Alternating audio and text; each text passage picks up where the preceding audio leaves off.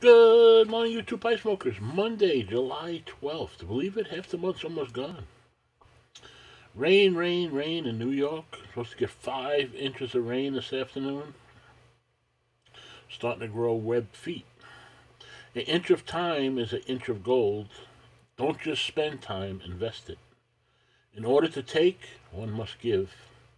Pick battles big enough to matter, small enough to win. Self knowledge is a lifelong process. Hope you're doing well. Get outside if you can. Dodge the raindrops. Be well. Stay safe. I'll catch you on the next one. I'll salute.